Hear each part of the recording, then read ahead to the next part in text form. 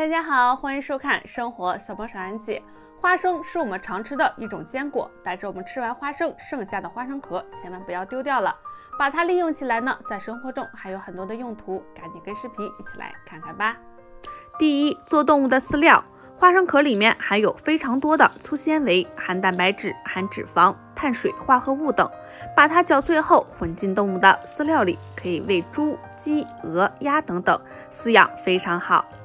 第二，花生壳清洗干净之后，可以用来泡茶喝，因为花生壳中的抗氧化剂可以非常有效帮助我们去除脸上的色斑。